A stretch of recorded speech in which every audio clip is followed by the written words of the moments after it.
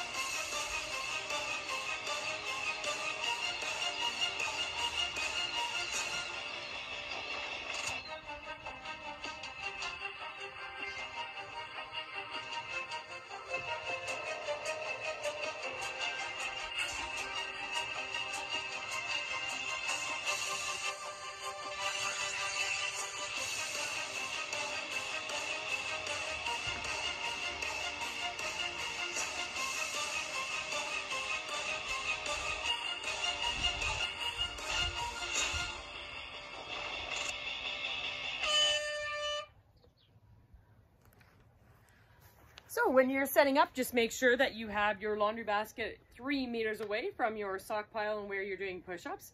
And you're gonna work on one minute of push-ups and target practice. Have fun.